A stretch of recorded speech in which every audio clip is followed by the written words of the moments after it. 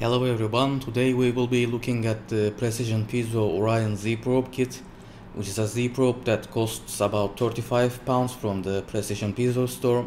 It mounts on top of the hot end and uses the nozzle as the probe itself. This means that there is no X and Y offset and the Z offset is usually about 0.1 millimeters, basically the distance between your nozzle and the heat bed. It fits all genuine E3D hotends and it will most likely fit the, most of the clone E3D hotends as well just fine. It has two mounting options. One is a screw mount which allows you to attach it to your X carriage directly, mostly used for Bowden setups. And the other way uh, is to use the groove mount which is just attaches under your direct drive extruder using the same place that the normal hotend attaches to. The way that this sensor works is pretty simple. There are two piezo transducer discs inside which emit a voltage when depressed, basically when the nozzle touches the bed. And the PCB has a chip to determine if it's triggered or not and sends that signal to the your control board. Also on the PCB there is a potentiometer that is used to set the sensitivity of the sensor. So if you think that your sensor is too sensitive or not sensitive enough, you can adjust that using it, that trim pot and if you want a tutorial on that I'll have one linked in the description below from their official YouTube channel. As far as the firmware is concerned, this is the same thing as a switch as a Z-probe. The sensor comes as a kit, but it is mostly assembled. You just need to put the PCB between the two included plastic pieces and also attach the hot end. In total it is 5 screws and it should take less than a minute it is also very easy to figure out how to assemble, so you probably won't need a tutorial, but if you do, I'll also have that linked in the description below from their official YouTube channel. One of the biggest advantages of the sensor according to them is the accuracy. While I don't have the necessary equipment to test their claim of 5 micrometer accuracy, I can say that it is very accurate. The readings between each test that I do is very minor, so it's measuring it very well.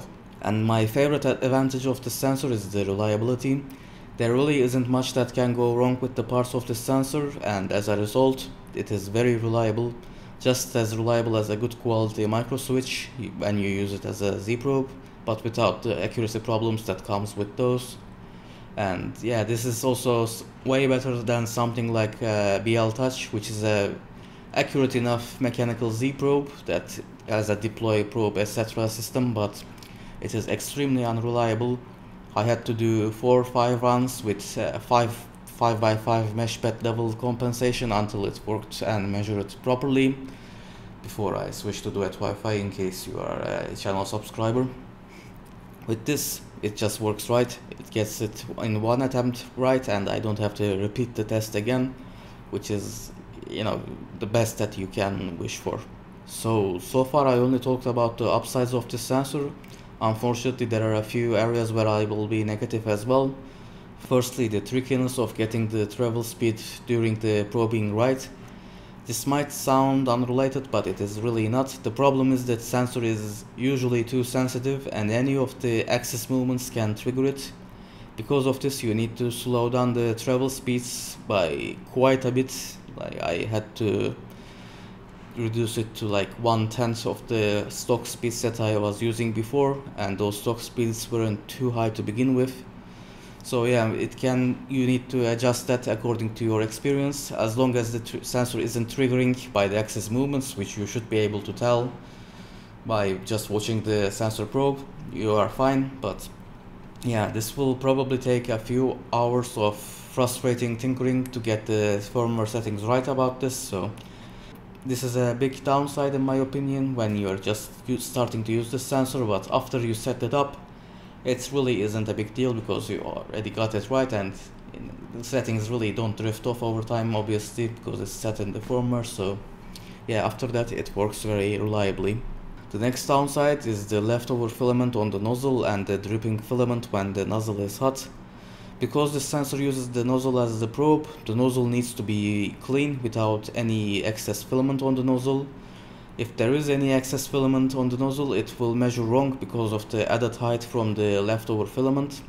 You also cannot probe at the printing temperature because it will most likely drip a bit and because of that drip it will obviously increase the height again and it will measure inaccurately. So the solution is to keep the nozzle clean and probe with the cold hot end, right?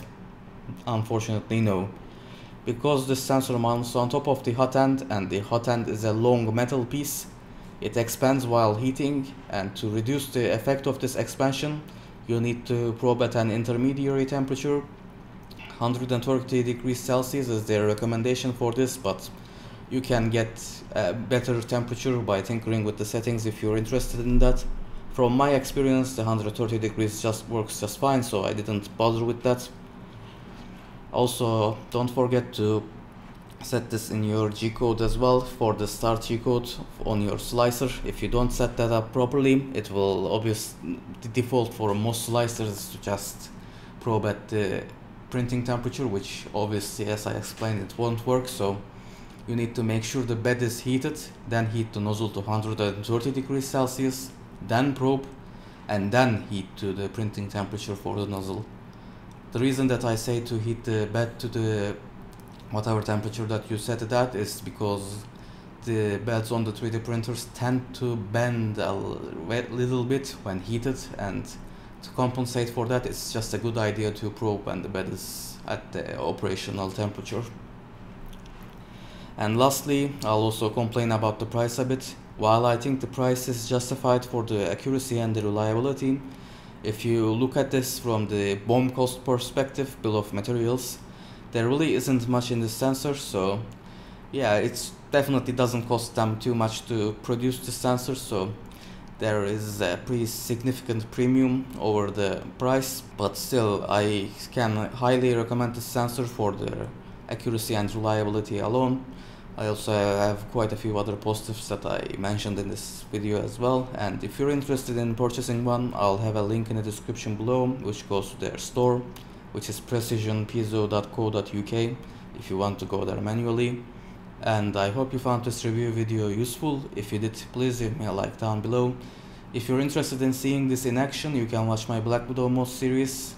I think I started installing this in part 20 or 21. The playlist for the Black Widow series will be on the screen right now on the left side, so if you're interested in that, just click on the playlist there.